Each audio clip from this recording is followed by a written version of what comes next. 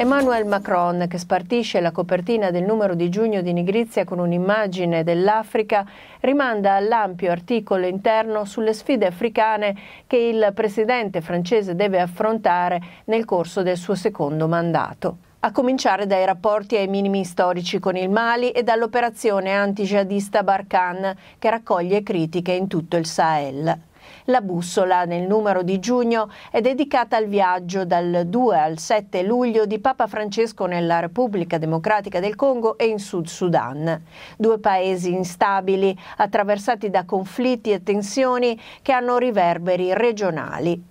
Il dossier sul Senegal ha questa volta la veste del reportage e si concentra sulla pesca informale che dà lavoro a 600.000 senegalesi ma che deve fare i conti con i pescherecci di Europa, Cina, Turchia e Russia che saccheggiano l'oceano e riforniscono l'industria di trasformazione.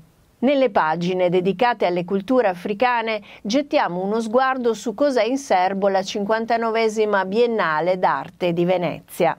L'esposizione internazionale d'arte in corso dal 23 aprile fino al 27 novembre ospita per la prima volta un progetto della Namibia, A Bridge to the Desert, che racconta fotograficamente la trasformazione di un paesaggio rarefatto e isolato attraverso una serie di sculture antropomorfe.